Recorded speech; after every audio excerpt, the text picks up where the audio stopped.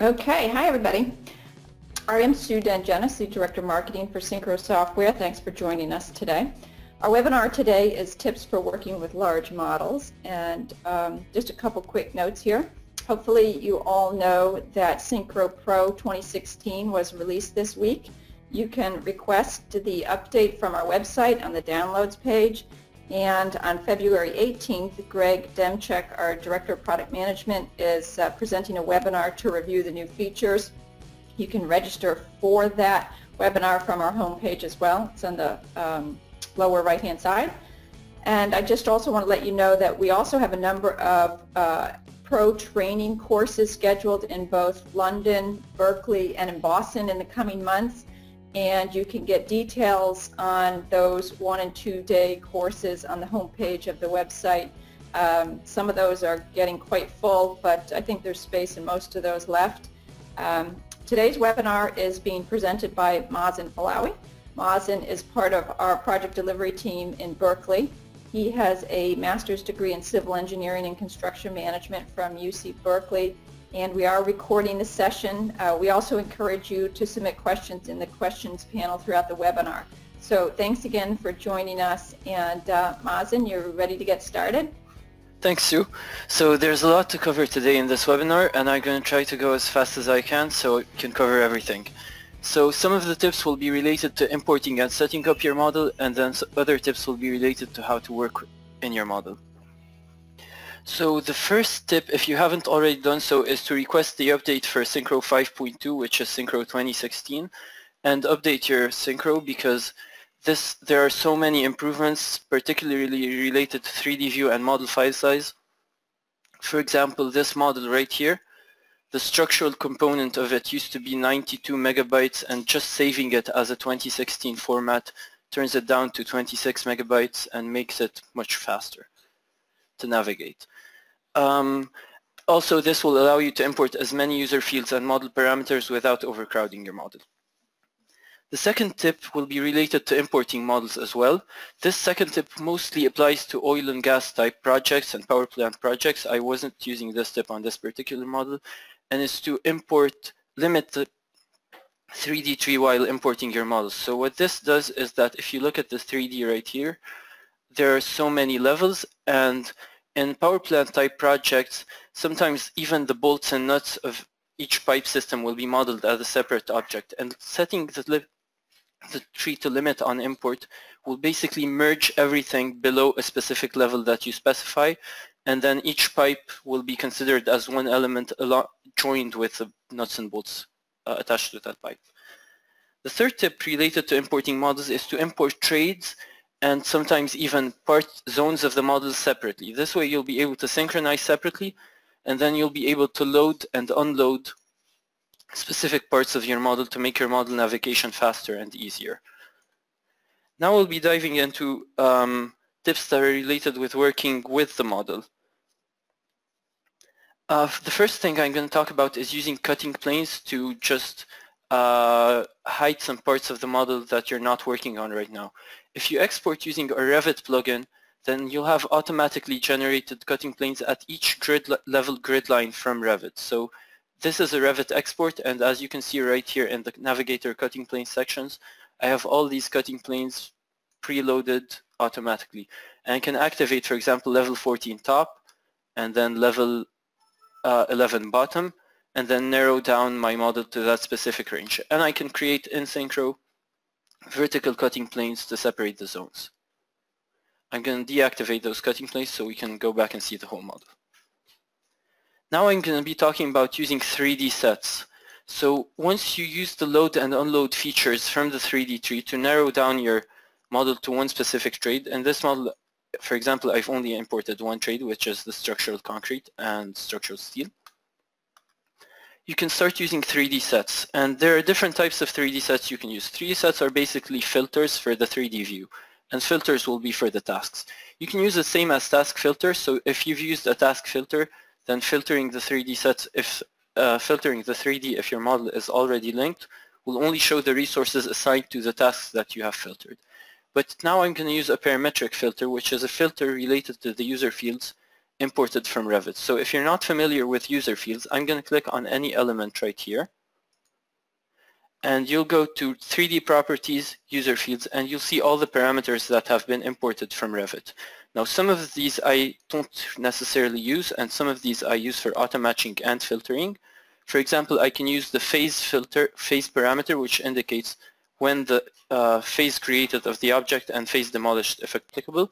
But mostly I'm going to be using the base level, which says level 6. And in my parametric filter, which is a 3D set because it's a 3D filter, I've set up a user field filter.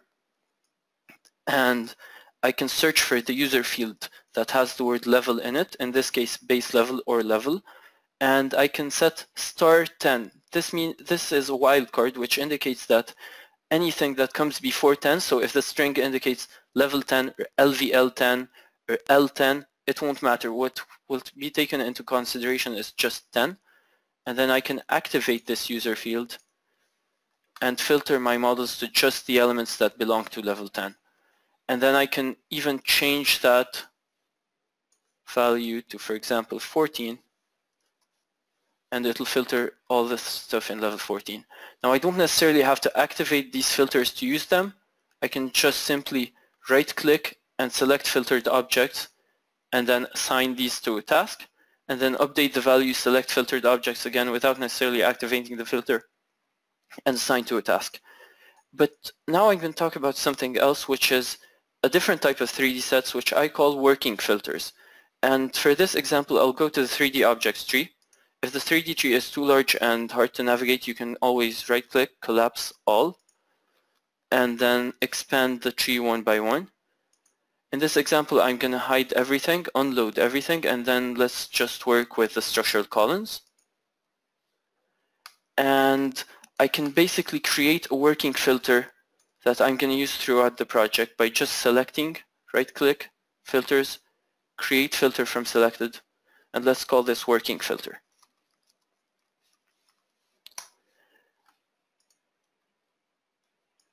So this automatically created the 3D set called working filter, which I can activate.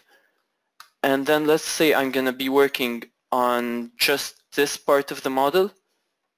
I can just select whatever is here and then right click filter remove selected from filter and this removes what I've selected from my current filter and I can always go back and add it or I can use if you can look at here the short keys for add selected to filter control shift S and then remove selected from filter so if I, I hit control shift D these will be removed from my filter and now let's focus for example on this one let's say this is section 1 and I've created enough tasks uh, right here just to show the examples that I'll be showing. Now for these type for these elements, if I look at the user fields, there's something I can use which is called base level.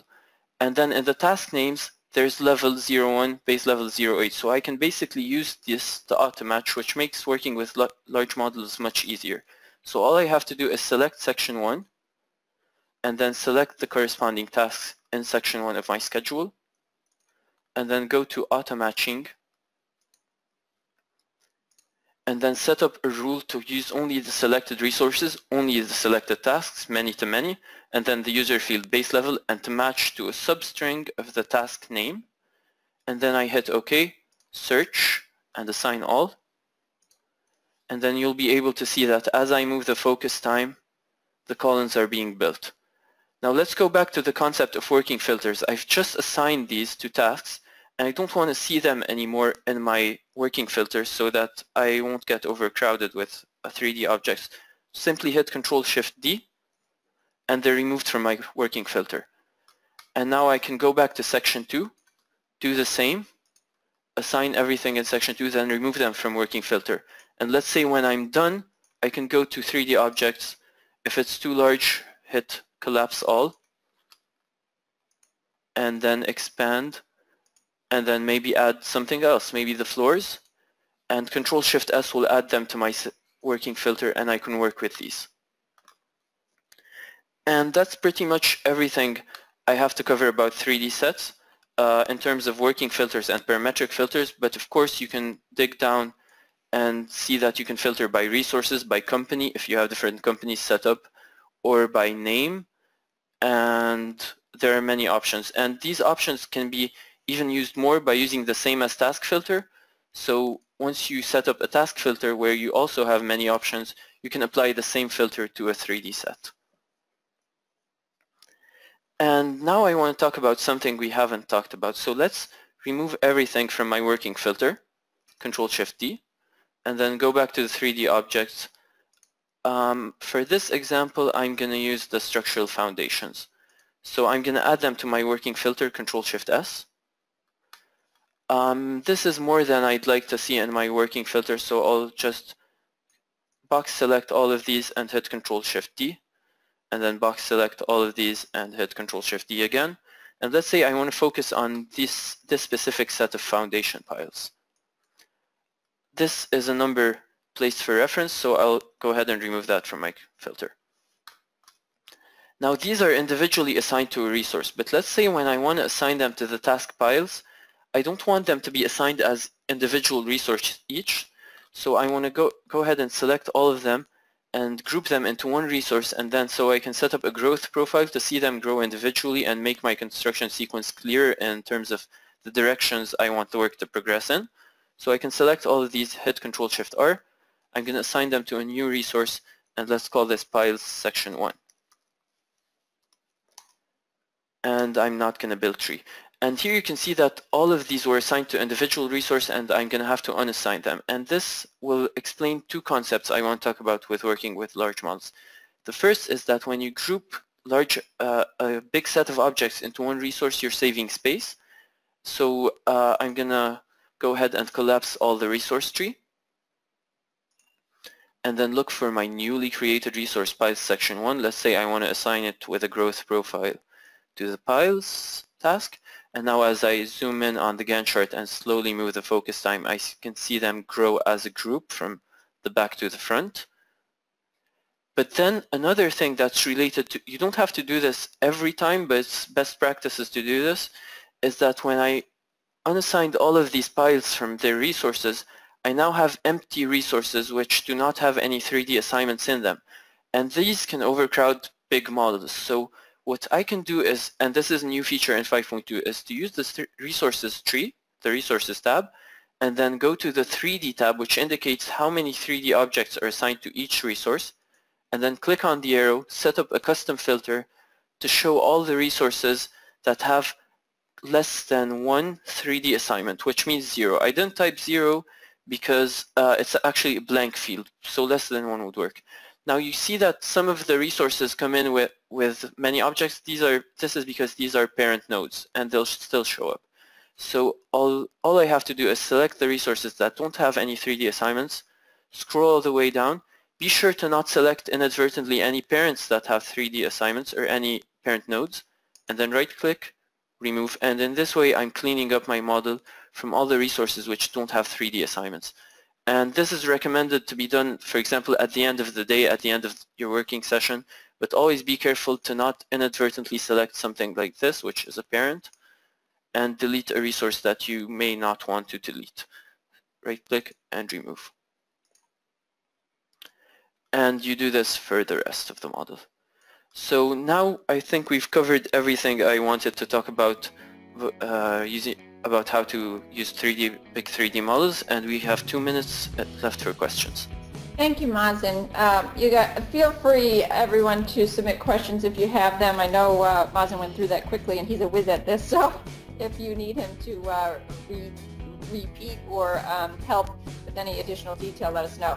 In the meantime, um, I just want to quickly mention that we also, at the same time we rolled out Synchro Pro 2016, we rolled out the new Synchro Academy, which is an online resource for all things Synchro. Um, you can request to enroll within uh, Synchro Pro on the homepage, or you can send uh, me an email or any of us and we'll get you enrolled and um, you'll have access to lots of updated training videos, some best practices, uh, workflows that the project delivery team and Mazen have participated in creating, and uh, some other um, great articles and, and, resources which can be tracked on your dashboard uh, individually and as a company if you're a corporate client of Synchro. So do check that out. Uh, there's lots of great stuff on there. And here is a question.